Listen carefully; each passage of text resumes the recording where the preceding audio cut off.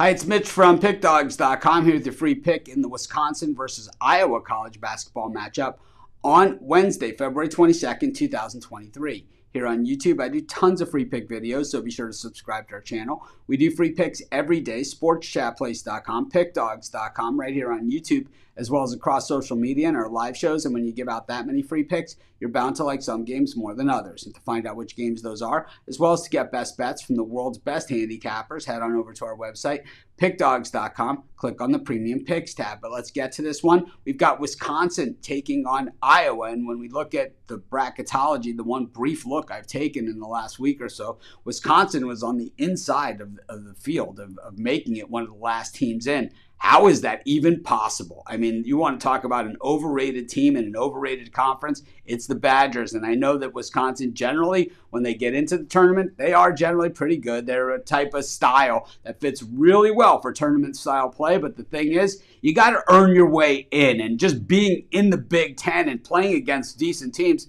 and really, I haven't even played that many of them because the conference has been so lame this year. Uh, I, I don't personally, I don't get it. Meanwhile, when we see Iowa, this is a team that, you know, last time out against Northwestern got absolutely punked in Evanston. And, you know, we've seen Iowa play pretty strong this season. So one of two things. Either Northwestern might be a little bit better than what we give them credit for, which is probably the case, or maybe also Iowa, maybe we've overvalued them as well. And I think that could also be the case here, too. I think what we've seen from Iowa is just a little too much inconsistency. They do have some guys that can shoot, and it will make them look good in a lot of games. Uh, you know, when they're when they're running hot, but they start running cold, and you start seeing them on the wrong side of a beatdown. The problem is Wisconsin's been even worse. I'm going to take Iowa to go into Wisconsin and bust up the Badgers. I'm going to take Iowa. That's going to be my free pick. Of course, while you're doing your picks today, putting your bets in, be sure to use our free betting tools at sportschatplace.com. Our betting tools are 100% free, and the way they work, they show you just how often all the bets on the board today actually hit.